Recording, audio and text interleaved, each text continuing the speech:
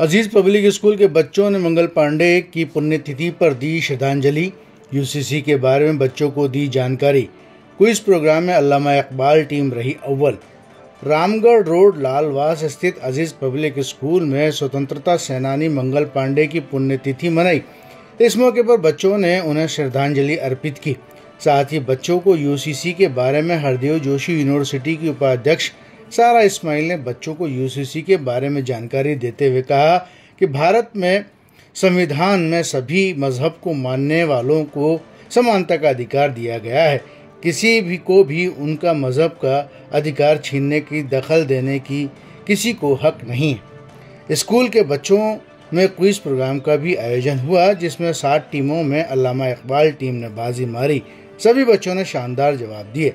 Principal Sharif ने कहा कि ऐसे प्रोग्रामों के ज़रिए बच्चों को काफ़ी मालूम होती है। और आठ संघ राज्य क्षेत्र है।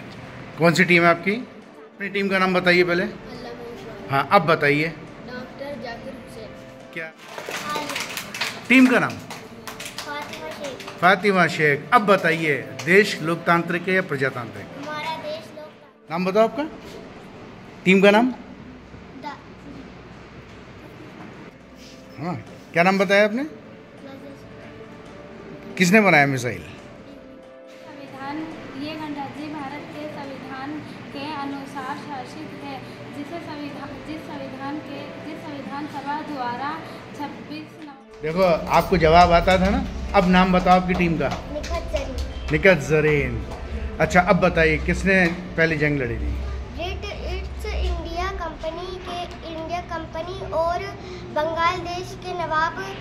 सिराज उद दौला के बीच क्या है वो? निखत जरी हम्म। ये युद्ध 23 जून सत्रह को हुआ था। ये युद्ध ब्रिटिश हम्म। इंडिया कंपनी के East India Company. Yeats. East East. East. India Company और बंगला बंगाल। के नवाब सिराज उद दौला के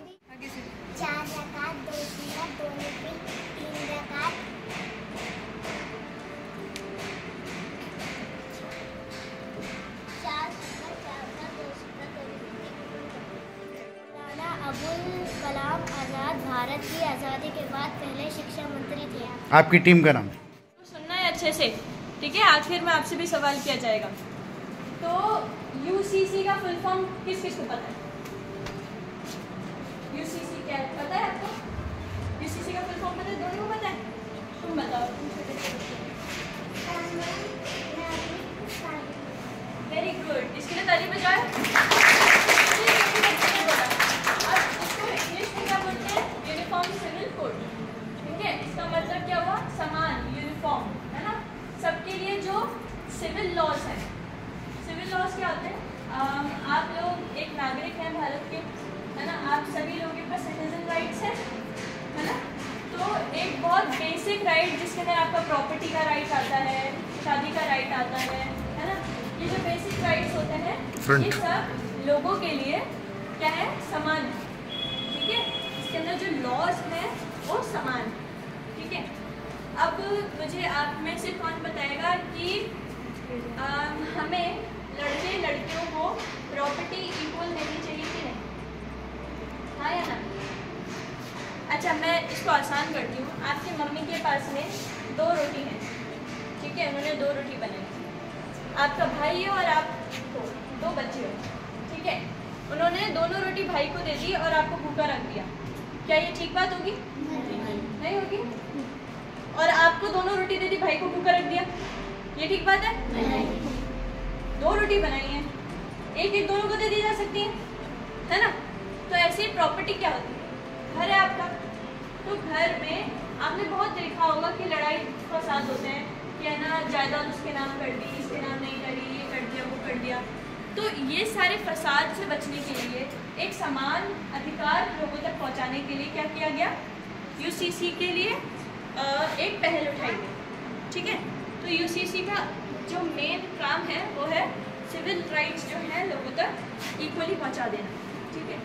अब इसके साथ में एक और जो अ, बहुत सारी चीज़ें होती हैं आपको जब कुछ सुनाई देता है ना तो उसके साथ में आपको कुछ उसके बारे में अफवाह भी सुनाई देती है है ना? जैसे कि मैगी के बारे में हमें अफवाह सुनाई देती है इसमें कीड़े आते हैं। सुनिए? सुनिए? यहाँ पे बैन भी हो गई थी मैगी है ना? बाद में जाँच पड़ताल हुई सब कुछ हुआ वापस से शुरू हो गई। नहीं थे कीड़े है ना? तो ऐसे जो अफवाह आती हैं इसके बारे में यूसीसी के बारे में भी अफवाह आई। यूसीसी के बारे में अफवाह क्या आई? कि जितने भी मुसलमान बच्चे हैं या मतलब जितने भी मुसलमान नागरिक हैं हिंदुस्तान के अंदर उनको इस्लाम को फॉलो नहीं करने दिया जाएगा। क्या आपसे आपका धर्म को आ, मानने का कोई हक छीन सकता है? नहीं छीन सकता। अगर कोई बच्चा हिंदू है, वो अपने धर्म को फॉलो करेगा। कोई बच्चा मुसलमान है तो वो अपने धर्म को फॉलो करेगा। है ना? क्यों? मैंने ये अभी क्यों कहा? क्यों नहीं ले सकता हमारे से ये अधिकार कोई? क्योंकि हमारे संविधान संविधान सबको पता है क्या है? पता है क्या? बुक ऑफ़ लॉ उसके अंदर हमारे अधिकार हैं, हमारे ड्यूटीज़ हैं, सब कुछ उसी में। इंडिया के लिए जो एक पूरा स्ट्रक्चर बनाया गया है कि कैसे कॉन्स्टिट्यूशन कैसे गवर्नमेंट को वर्क करना है, कैसे सिटीजन्स को वर्क करना है, क्या नहीं करना है, क्या करना है, क्या अपराध है, क्या नहीं है, वो सब क्या आता है कॉन्स्टिट्यूशन में, है ना? तो जब कॉन्स्टिट्यूशन के अंदर अच्छा पूर्ण प्रस्तावना वाला क्वेश्चन पढ़ा है? नहीं पढ़ा प्रियाम्बल पता है क्या होता है? नहीं पता। प्रियाम्बल होता है जिसके जो हमारे कॉन्स्टिट्यूशन का चेहरा होता है है। उसके अंदर हमारे कॉन्स्टिट्यूशन का जो मूल भाव है, वो होता है, ठीक है? तो हमारा कॉन्स्टिट्यूशन के मूल भाव में एक चीज़ आती है कि आपको ये स्वतंत्रता है कि आप कौन से धर्म को फॉलो करते हैं, है ना? आपकी क्या मान्यता है, क्या नहीं मान्यता है, ये आपके पास पूरी छूट है, ये आपकी स्वतंत्रता है। तो जब ये ऐसी अफवाहें आपको फैलाई जा रही हैं, आपको ऐसे बोला जा रहा है कि मुसलमानों को इस्लाम मतलब जो है, हिंदुस्तान से हटा दिया जाएगा, मुसलमानों को इस्लाम से रिलेटेड कोई भी लॉ फॉलो नहीं करने दिया जाएगा तो ये बिल्कुल गलत है। ऐसा नहीं होगा ठीक है? मंगल पांडे को सुना है नाम? सुना है? क्या थे मंगल पांडे? क्या किया था उन्होंने? फ्रीडम फाइटर तो जानते हो ना क्या होता है? हाँ देश की स्वतंत्रता के लिए लड़ाई करी है उन्होंने। है? गांधी का नाम सुना है? भगत सिंह का नाम सुना है? सुना है? ये सुना? नेहरू जी का नाम सुना है? चाचा नेहरू का नाम सुना है? ऐसे एक और नाम सुन लो आज, मंगल पांडे। घर पे जाके मंगल पांडे के बारे में पक्का से पढ़ना, आपकी किताबों में भी आएगा। उन्होंने हमारे देश के लिए लड़ाई करी।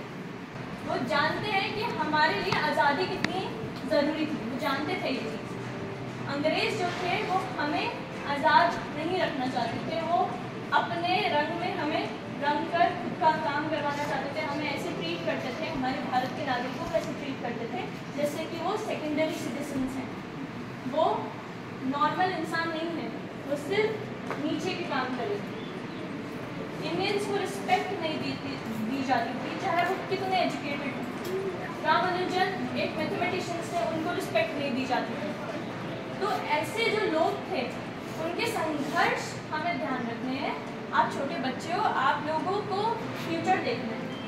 आप लोगों को ही फ्यूचर अपना ब्राइट करना है। आपकी खुद की कंट्री का आपको फ्यूचर बनाना है। पहले खुद का फ्यूचर बनाओ, फिर कंट्री का फ्यूचर बनाओ। है ना? और ये कैसे बनेगा? ये हमारे पास सही एजुकेशन होगी, हमारे पास सही नॉलेज होगी। अभी आपके पास में जितना भी क्विज के अंदर बात होगी, आपको वो अगर खुद को आंसर नहीं आता, जिसको आंसर आता है, उसका आंसर सुनो, जानो कि अच्छा इस सवाल का जवाब ये है क्योंकि जितने भी सवाल है ये बहुत बेसिक सवाल है कि आपको हिंदुस्तानी के नागरिक होने के नाते आपको ये नॉलेज तो बहुत बेसिक होनी चाहिए ठीक है? अगर आपको ये नॉलेज नहीं है तो you can't call yourself a good citizen आप अच्छे सिटीजन नहीं रहोगे फिर अच्छे नागरिक नहीं रहोगे। क्या आपको अच्छा नागरिक बनना है? सभी को अच्छा नागरिक बनना है? सबको सफल होना है? इधर भी इधर इधर भी बच्चे हैं।